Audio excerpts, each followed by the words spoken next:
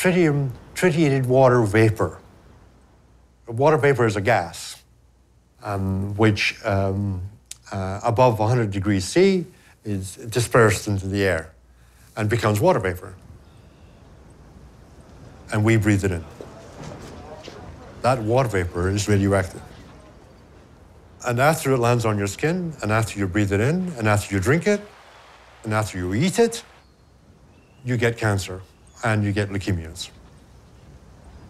If you were to compare the concentrations of tritium near Canadian reactors with the concentrations of tritium near German reactors, the ones near Canadian reactors would be 20 to 30 times greater than the concentrations near German reactors. 20 to 30 times greater. You got it? Uh, Absolutely. 20 to 30 times greater on average.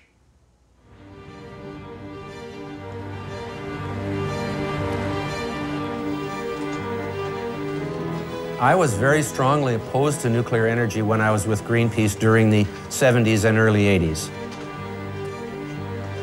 The people who campaigned against nuclear weapons and nuclear war were the same people who then shifted to campaigning against nuclear energy when the threat of nuclear war became less severe.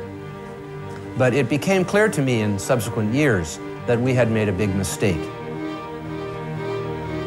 Well, nuclear energy is clean because it does not cause pollution. It is reliable because it can run all the time.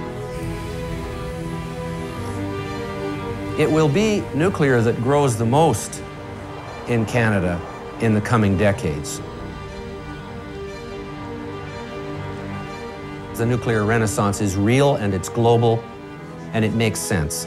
So it's going to happen.